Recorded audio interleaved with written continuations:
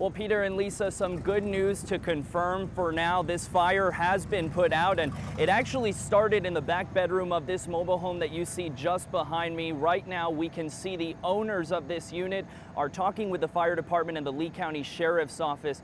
Now, we are told that this mobile home was vacant. There was no one inside at the time. It was actually uh, undergoing renovations and construction work.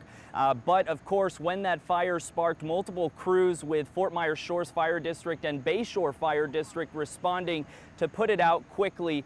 Uh, crews, we're told, are going to be staying here for uh, a while longer while they work to mop up uh, this fire, making sure that it doesn't rekindle. But we're told that this fire uh, does not show signs of being suspicious in nature. I'm live in North Fort Myers, Nestor Montoya, NBC2.